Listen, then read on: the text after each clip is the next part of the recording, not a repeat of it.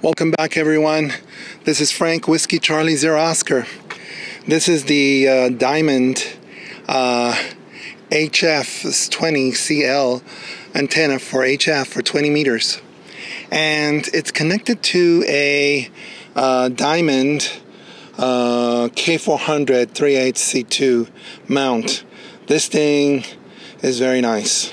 Um, it does a very great job in making sure not only is my antenna mounted to the car, but it does very nicely in terms of making sure the antenna is uh, electrically connected to the car somehow. We'll talk about that a little bit. Now, this antenna here, uh, as you can see, I'm unscrewing right there. Uh, this one, I put an adapter. Uh, this antenna is doesn't have a 3 8 um, male connection. I have the adapter there so that I can connect it to this particular mount, which is again the K400 38C2. Now, this this mount here, I use it a lot for um, for my screwdriver antenna, the Tar Heel uh, antenna, uh, the 45A or the or the Wolf River coil, believe it or not. And so this has been invaluable for that. And right here, I connect it um, this way. Now, I can open the drawer or the hatch back here. Okay.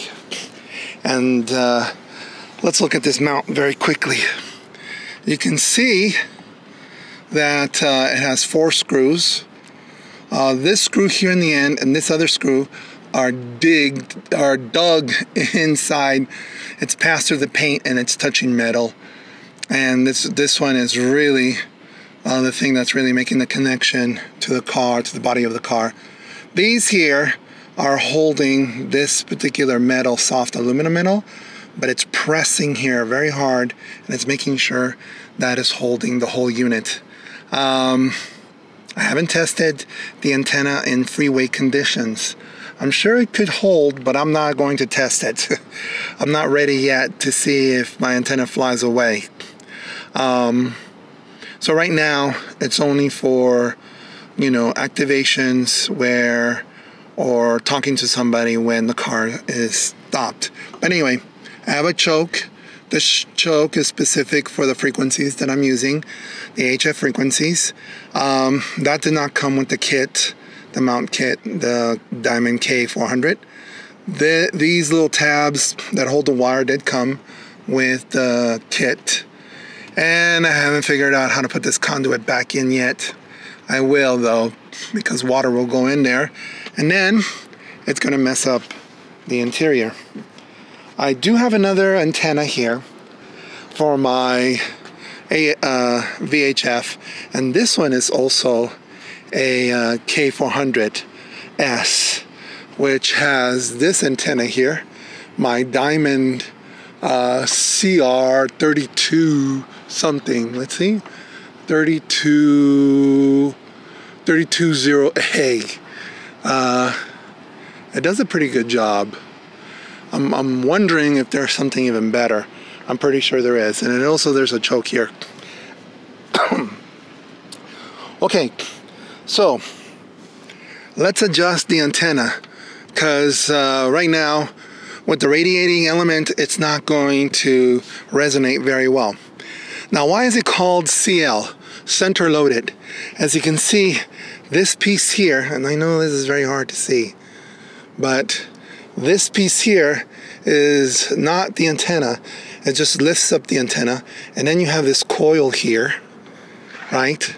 And then this is the radiating element as well. Uh, so the antenna, the length of the antenna is right here as well. And to adjust the, the length of the antenna, because not all cars are equal, there's a screw right here. So I'm using this here to unscrew this. The antenna does come with an Allen wrench, but I like to use this instead. I unscrew this and then I can pop this out. When I pop it out, um, I can cut it. Now before I cut it, I, um, I did check the resonance and it wasn't that great. So what I did was I cut um, a quarter of an inch with these bolt cutters, uh, which are, you know, they're not the best bolt cutters in the world. These are Pittsburgh bolt cutters, and you can get those at, that's right, Harbor Freight. Now, why aren't they great? Because you can see, let me see, you can see already, right, that cutting this wire nicked the, the you know the teeth of this so the metal is kind of soft but hey um, you know for ten dollars it's it's worth it it'll last me easily for another 50 cuts maybe another 20 cuts for sure um, definitely it's worth the money and it's not like I'm going to cut several of these type of, of uh, radiating elements. Okay, so on the next part of this video, what I'm going to do is I'm going to um, look at Antscope using my rig expert and then finding out where this antenna resonates. And I'm going to go back and forth, back and forth, cutting a quarter of an inch, quarter of an inch, quarter of an inch until I find the antenna to resonate where I want. Um, now, this is one way to mount uh, this particular antenna. And you can mount this via a, um, a one mag mount. Three would be better, but one, you can put a, a mag mount on the car and then see if, if it resonates that way. And then uh, you need to adjust the radiating element accordingly. Okay, so let's go inside the car, cut some wire, and then come back and uh, tell, find out until it resonates where I want it. All right, let's go inside. Okay, I'm in the car. Let's review. So I have the Diamond HF20CL right? Uh, that's attached to the Diamond uh, K400 3 8 I think it's C tube. Um, so when I mount it that way, right, uh, compared to mounting it on a magnetic mount, I'm going to have different resonance. It's going to resonate differently because they're they because there's a different process.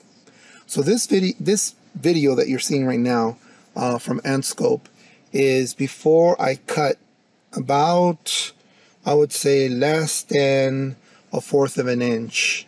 Probably a little, a little bit more a fourth of an inch, but close to a fourth of an inch. And you can see that I'm really close. I am really close. This bottom part is what I want down here, sort of, because I usually do voice, and as you can see, the voice is below three, but not below two. And this antenna seems to resonate at its bottom point like less than 2. So I have my rig expert, um, my stick pro, it's turned on. I got it connected uh, to the um, I got it connected to the antenna out there and then we're just gonna find out uh, how this is gonna work okay let's see here so I'm going to press on single and I'm going to find out where it is. I moved a little bit, but it didn't move enough. Now, as you can see, the pink one didn't move over. And let's see, it's in a lower place. We are at uh, SWR 2.4, right? uh, 2.4 with a return loss of 7.5 with about 40 ohms, which is probably expected. But I thought it was going to be a little bit lower than that. Now, in this situation here, I'm going to cut the antenna even more, probably another quarter inch. Now, why cut? Why not like, you know, why not make it longer the antenna? why make it shorter because if you look down here in the frequencies I want my SWR to be shifted more to the right because this bottom point here is where I want it to be somewhere in this area between 14.2 and 14.3. I want that bottom area because I want it to resonate below 2 at the right now at 14.3 which is the marine the the um, uh, maritime mobile mobile maritime marine no marine maritime mobile uh, net right at 14.3 you can see that I'm getting a an SWR 239 technically yes in emergency you can use that but I need to be I need to be lower. Uh, so because I'm going to the right in this graph that means the frequency is getting larger right? These numbers are getting larger. The frequency is getting larger. That means the the the, the length is getting shorter and because the length is getting shorter, I need my antenna to be shorter. And that's the key there. So I can cut a little bit more.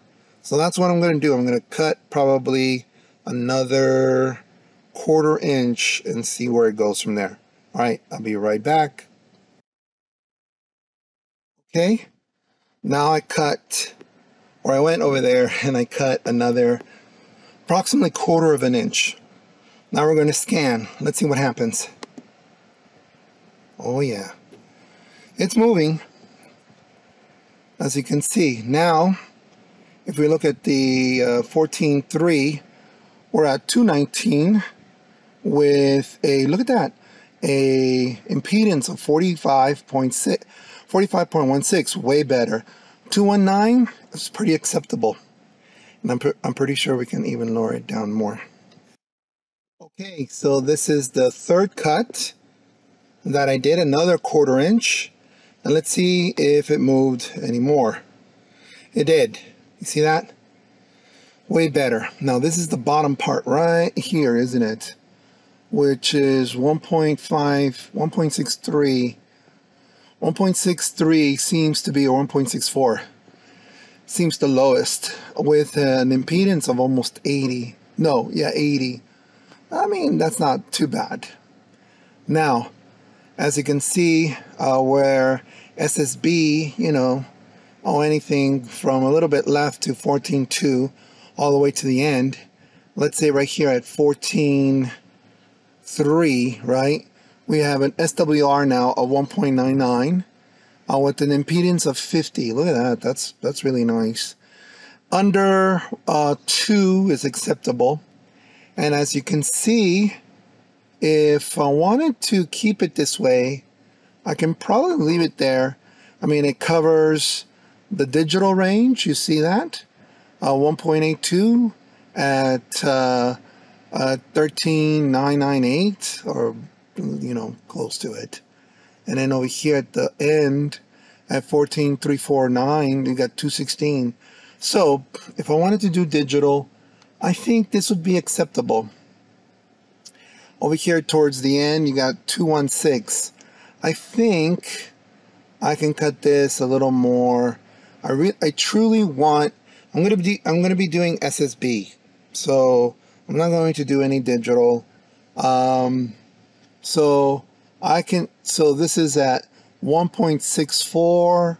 Over here is at 205 we're talking, you know, uh, almost a quarter.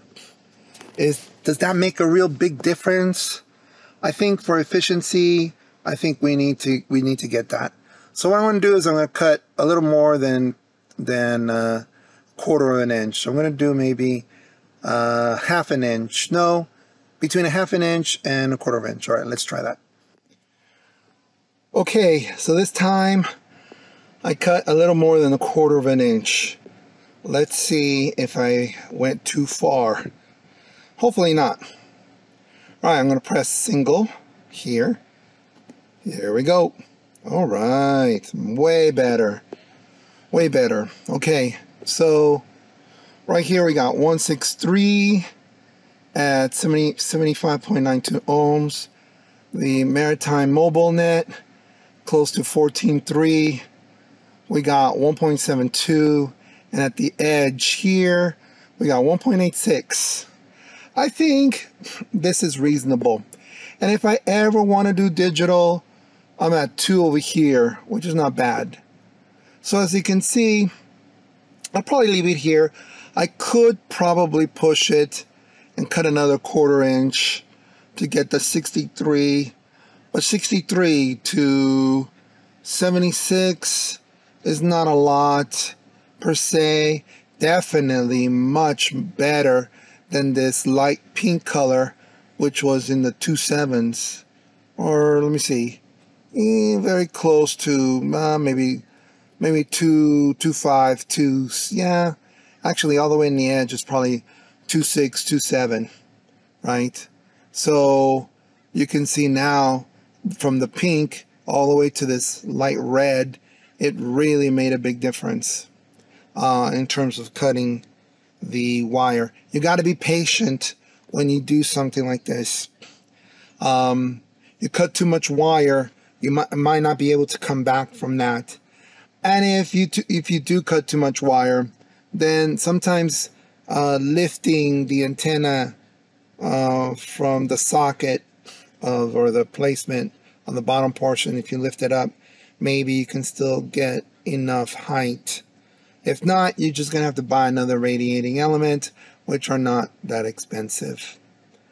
Okay, so the next thing I'm going to do is to um, drive over and uh, drive over to a uh, POTA and see and see if I can activate a park with this and try try the antenna out. Um, all right, so I hope that was uh, something that uh, was useful, and I hope uh, uh, you know you can get something out of it. Uh, if you like this content, please uh, give it a thumbs up. Thank you for the super thanks. I appreciate everyone contributing to that. I appreciate it. Um, and also, have a great day. This is Frank, Whiskey Charlie, Zero Oscar.